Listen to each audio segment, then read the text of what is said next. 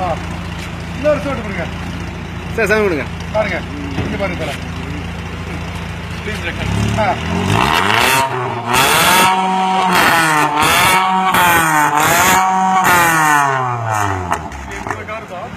இந்த மாதிரி நீங்க சவுண்ட் அதிகமா வச்சீங்கன்னா முதல்ல வந்து டிராஃபிக் இன்ஸ்பெக்டர் பிடிப்பாங்க.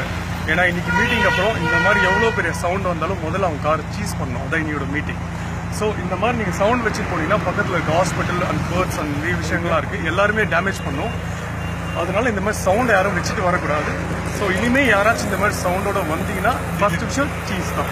கரெக்ட் சார் ஃபர்ஸ்ட் விஷயம் தேங்க்யூ ஸோ மச் இன்னைக்கு இதுக்கப்புறம் இந்த சவுண்ட் யாருக்கிட்டையும் இருக்கக்கூடாது. அதான் எங்களோட ஹம்பிள் ரிக்வஸ்ட் ஸோ எல்லாருமே வந்து ப்ளீஸ் பப்ளிக்கும் ஹெல்ப் பண்ணுங்க.